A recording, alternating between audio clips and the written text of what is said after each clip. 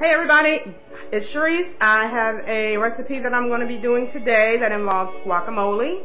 It's actually not guacamole, but it, you use the same ingredients. You use avocado, onions, garlic. You can season it, salt and pepper. The only thing that I'm not going to be putting in is the lime and the cilantro.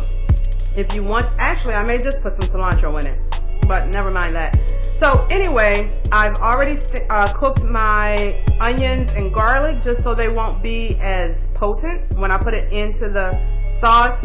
You can use spaghetti squash or which I'm going to use because I'm trying to cut back on the processed carbs or just the, you know, noodles. Um, so I'm going to use spaghetti squash. You can also use whole wheat noodles, pasta, whichever type of pasta you want to use. And this uh, recipe, I've used it before. It's really creamy. It tastes really good. So let's just get started with the recipe.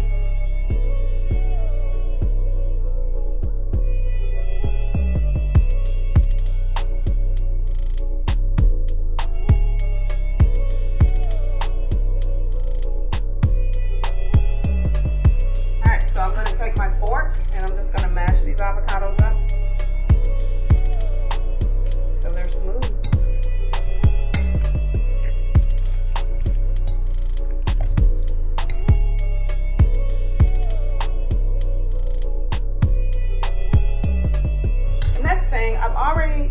Sauteed my onion and garlic. Now, I did quite a bit. I don't think I'm going to need to put as much in this. So I'm going to go ahead and just put half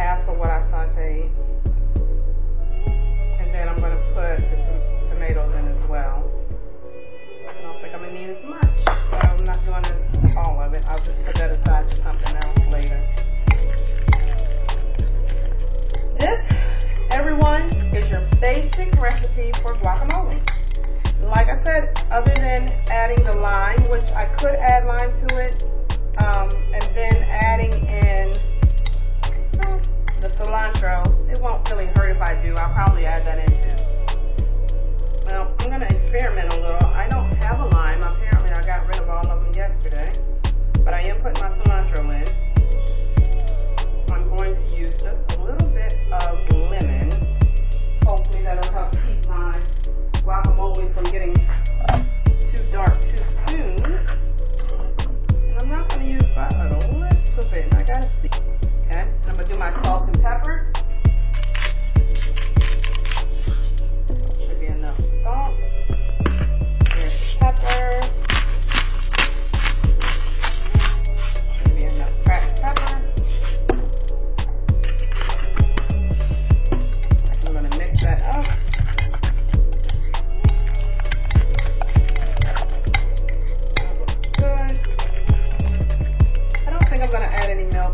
Good. Um, you want to be able to coat your noodles with it. See what it tastes like. tastes good. And I need a little bit more salt.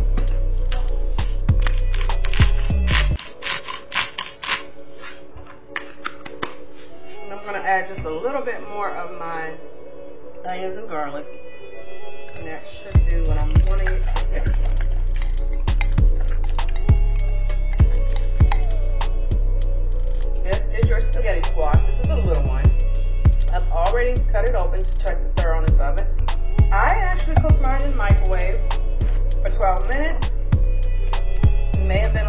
Longer than necessary because, I'm not going to peel that.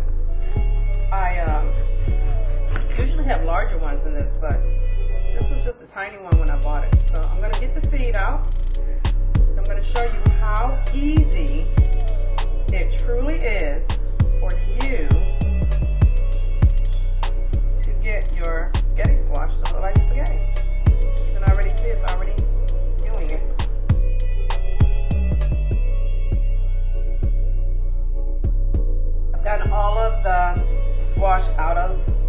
covering. So now I'm just going to put it inside of a bowl.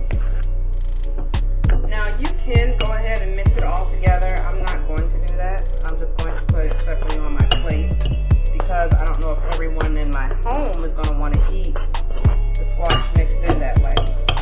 Because um, you don't have to mix it up. You can always eat it with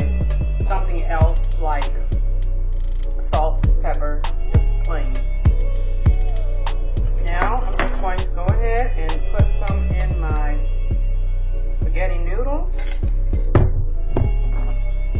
I'm just gonna mix it up in there.